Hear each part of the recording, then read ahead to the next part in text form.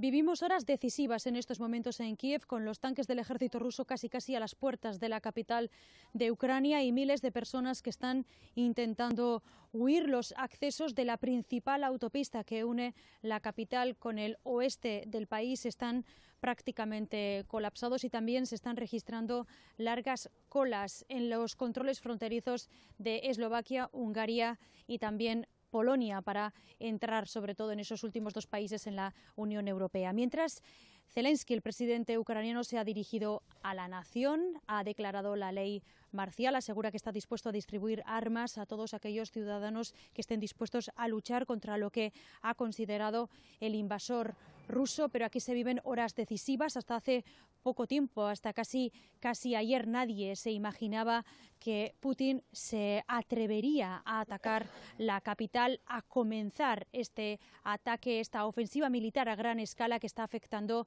prácticamente a todo el país. Y es que Rusia ha atacado Ucrania por los tres flancos principales, el norte, el este y el sur.